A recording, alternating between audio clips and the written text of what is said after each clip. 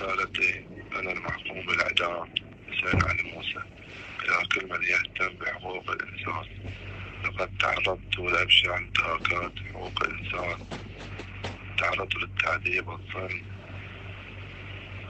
لا علاقة لي لا علاقة ولا علاقة لي به وتم الحكم علي بالإعدام أنا بريء وكل ما في القضية كل من عرف قضية وكل من عرف قضيتي من أطباء ومحامين وحقوقيين وبرنا وأطباء في الداخل والخارج. وأشكر البرلمان البريطاني وجميعهم وأقول أنا بريء.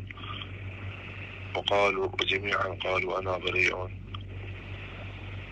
ووضحوا تعرض للتعذيب والانتهاكات حقا حقا أنا أقول للمسؤولين في البحرين وأقول للعالم أنا بريء ولم أرتكب هذه القضية وما حصل لي هو انتهاكات لا لا يقبلها الإنسان صاحب ضمير ويؤمن بحقوق الإنسان.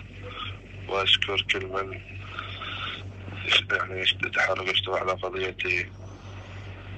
سلامتكم